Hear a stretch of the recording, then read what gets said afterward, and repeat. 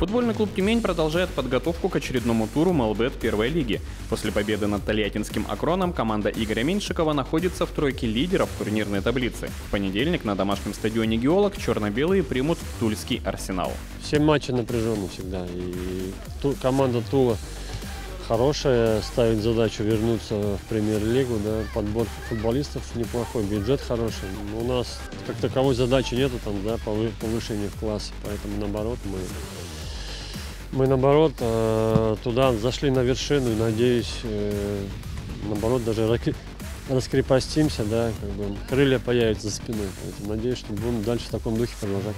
Никто не ожидал, и самое приятное, что все те, кто говорил, что мы будем идти внизу, сейчас поменяли свое мнение уже. И больше всего это приятно. А как будет дальше, посмотрим.